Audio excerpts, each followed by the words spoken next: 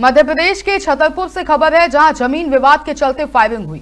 वहाँ एक युवक घायल हो गया। आपको बता दें कि घायल युवक को ग्वालियर रेफर किया गया है। दरअसल चंदला के वार्ड चार में ज़मीन विवाद के चलते फायरिंग हुई। लवकुश नगर सामुदायिक स्वास्थ्य केंद्र में प्राथमिक उपचार के बाद घायल युवक को ग्वालियर रेफर कर दिया गया।